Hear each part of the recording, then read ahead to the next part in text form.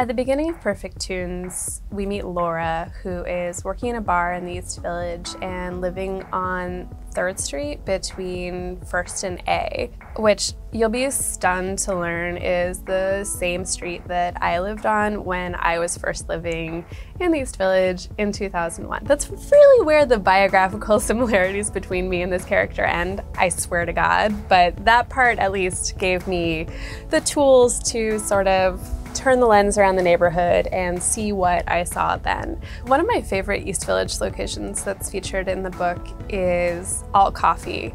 Laura goes to Alt Coffee because her boyfriend Dylan, who's becoming a rock star, has gone on tour and she's so surprised to get an email from him and she has to continue to sit there at the computer buying more internet time until he replies to the email that she sends. So Laura actually lives in a few different Brooklyn neighborhoods in the book. When Marie, her daughter, is little, she lives in Greenpoint, and then when Marie is older, she and um, her now husband, Matt, have settled in Park Slope, which is a neighborhood that they can't really afford, but they're just sort of like hanging in there by the tips of their fingernails.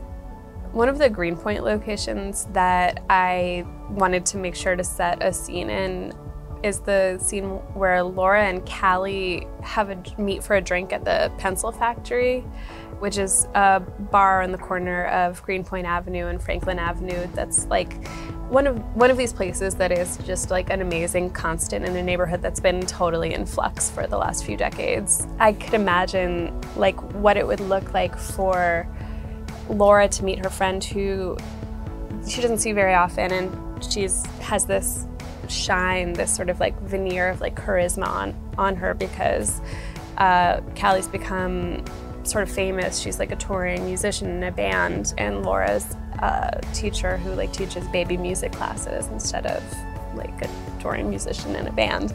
I could just see everyone swiveling around on their bar stools to sort of like covertly look at Callie and make sure that they are right about the fact that she's like a little bit famous. And then, as New Yorkers do, just like pretend that they didn't do that and go back to whatever they were doing, but then like continue to like like slyly, covertly, like keep tabs on her the whole time that they were there. And Laura just sort of ambiently being aware of that and that coloring their whole interaction. It's also just a good bar and you can get a grilled cheese sandwich.